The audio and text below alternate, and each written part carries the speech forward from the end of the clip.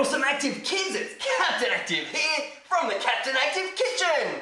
Today, I'm going to show you how to make awesome, yummy, active pizza swirls. Yummy!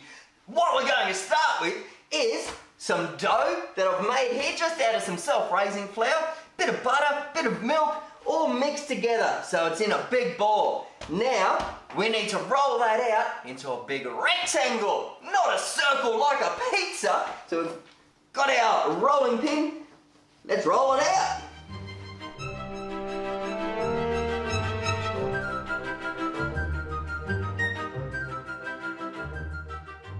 There we go, that's pretty close to a rectangle.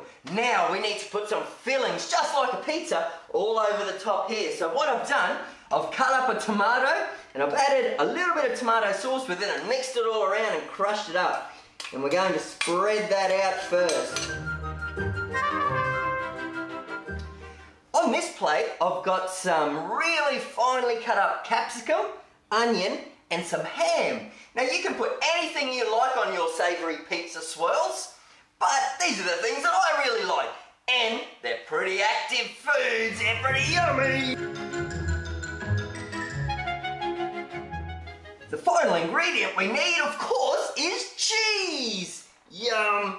Plenty of cheese on top to help give us lots of calcium, which is great for our bones. Now comes the really tricky part. What we need to do is roll this big rectangle up into a log. Sounds tricky, but let's try it out.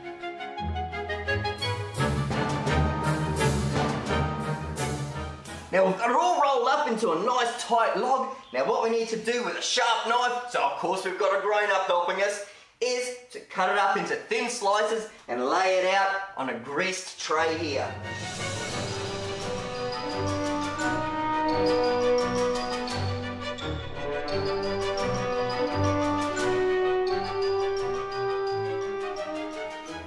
Terrific! Look at that, all our savoury pizza swirls ready to go in the oven. Now they're probably going to take about 20 minutes in the oven, and then they'll be ready to eat. Oh, I can't wait! Wow, look at these! They've been in the oven for about 20, 25 minutes, and they look beautiful. Let's serve them up on the plate.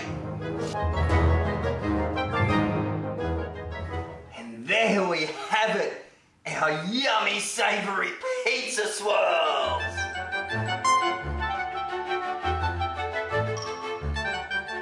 Super yummy, super active and healthy, so you can be active just like Captain Active!